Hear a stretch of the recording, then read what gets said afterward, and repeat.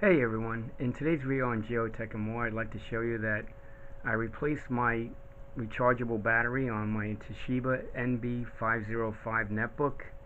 Here's the old battery. I replaced it with a new battery.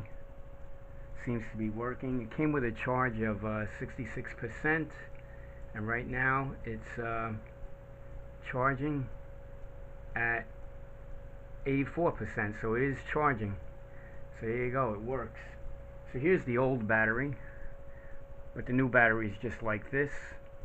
It came in this box, I bought it off Amazon. This box right here.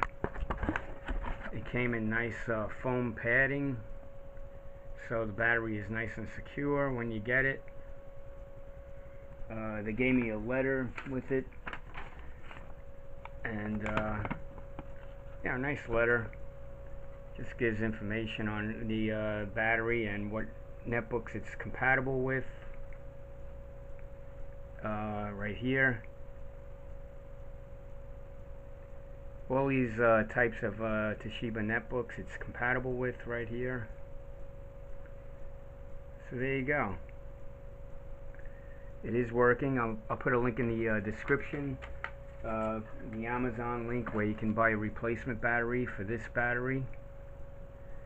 Um, this netbook is from 2009, but I actually hold on and my computer is very long, as long as they work. Um, this originally had Microsoft Windows on it, but I installed uh, Debian on it. It's running GNU Linux on it right now, works fine. And, uh, you know, that's it right there, you know. I do my uh, computer stuff right here. This old netbook works pretty well. Yep. So there you go. I'll put a link in the uh, description where you can order a uh, replacement battery for your old netbook, the old uh, Toshiba netbook.